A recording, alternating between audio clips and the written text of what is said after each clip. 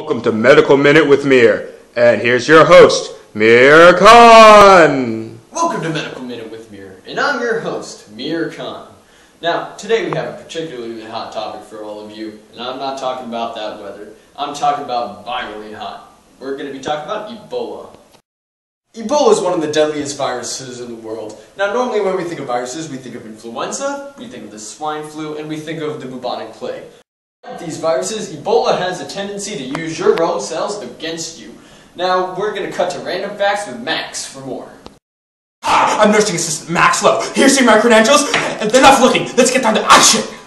Ebola is classified as a level 4 pathogen. That's higher than AIDS. That's not just contagious, that's virally hot. Better make sure you wear protection. A 2 to 21 day incubation period, Ebola gives you enough time to go where you need to go.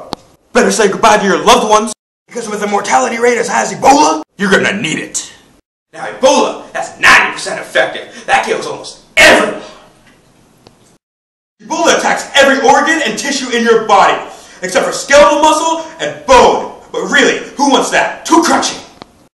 Ebola is a perfect parasite because it transforms virtually every part of your body into a digestive slime of viral particles. Seven mysterious particles of Ebola work together as a relentless machine. They consume the body as the virus copies itself. The skin develops red spots, called petechiae, which are hemorrhages under the skin. Ebola attacks connective tissue with a particular ferocity. It multiplies in collagen, that's the thing in your lips. Spontaneous rips appear in the skin, and hemorrhagic blood pours from the ribs. The red spots on the skin grow and spread and merge to become huge spontaneous bruises, and the skin goes soft and pulpy. It tears off at even the slightest touch. Your mouth bleeds, your nose bleeds, your teeth bleed, everything bleeds. You may have a hemispherical stroke in which one whole side of your body becomes paralyzed. Even while the, bo- even while the body's internal organs become plugged with coagulated blood, the blood that streams out of the body cannot clot. The blood has been stripped of its clotting factors. If you put runny Ebola blood in a test tube and look at it, you see that the blood is massacred. The blood looks as if, if, as if it's been through a electric blender.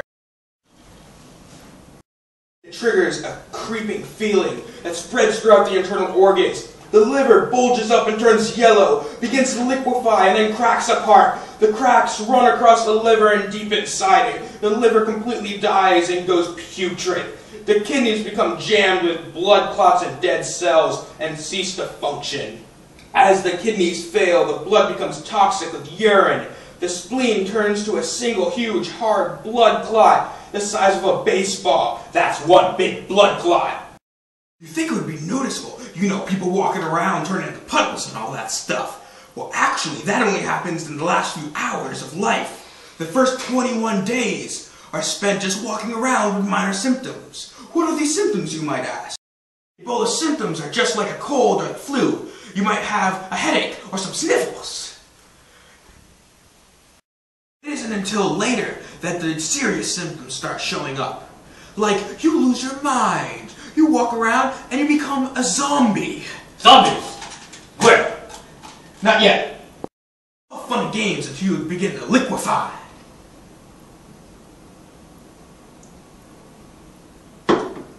It's never as fun when you turn into a puddle.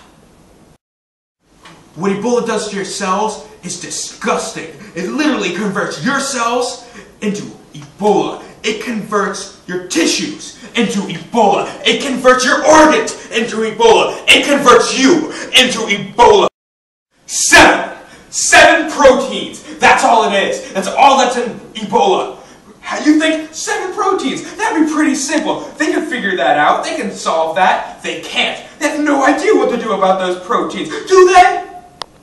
No, they don't. Five. That's all it takes. Five. Five individual Ebola particles. That's all you need to become contagious. To be inflicted with Ebola. Five individual particles. Other diseases can take hundreds, thousands, even millions of particles before you become infected. With Ebola, it's five. Now, you're probably sitting there being all scared and wondering, what do we do? Uh, Max, you're the one with all the happy medical knowledge, being all certified nursing assistant stuff, help us. How, how do we how do we cure this? Well, what treatments? How do we prevent this? Well, I got some bad news for you. You don't. You can't. They have no official cure or treatment for this. All they do is they can balance some of your electrolytes, give you some more fluids, but that only delays it.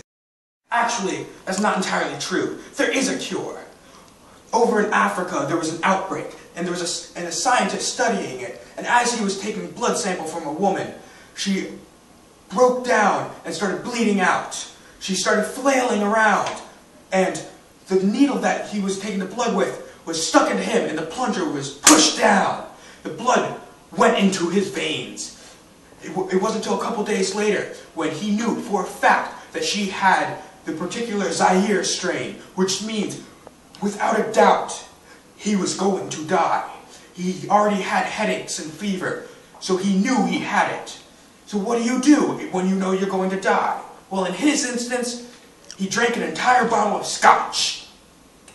Well, then nothing. He didn't die. His symptoms went away. He got better. He was cured. It was a miracle. He later went on to put in his medical reports that the only known cure for a filovirus, which is what the Ebola is, by the way, the only known cure for a, for a filovirus is scotch. He put this in as somewhat of a joke. But scientists later went a little in depth and studied it.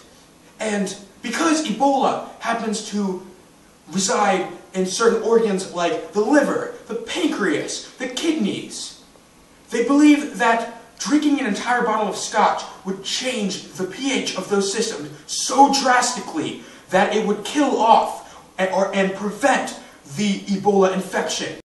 Now, I'm not saying that you should drink alcohol when you have the flu. That's still bad. Alcohol's just not as bad as Ebola. Ebola is so contagious that a single touch from an infected person can kill you. Oh! The following is done by trained professionals. Do not try this at home.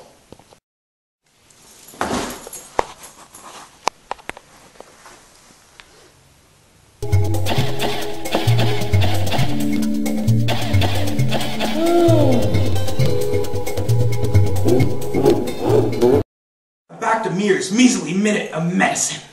Hey, I like that show.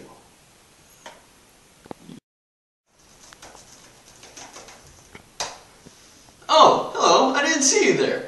Well, I guess you came back for some Mirror's mail. Today's mail is sent in by C. Darwin 1809, and he asks a few pretty vague questions about Ebola. His first question, what is Ebola hemorrhagic fever? Now, as we've gone over before, it affects humans and other primates. There are five strands of it, so let's move on to your next question. Where is the Ebola virus found in nature? Well, C. Darwin, to be completely honest, scientists don't really know. The virus has such a rapid life cycle that it's virtually impossible to trace back. Now, C. Darwin asks, where do cases of Ebola occur?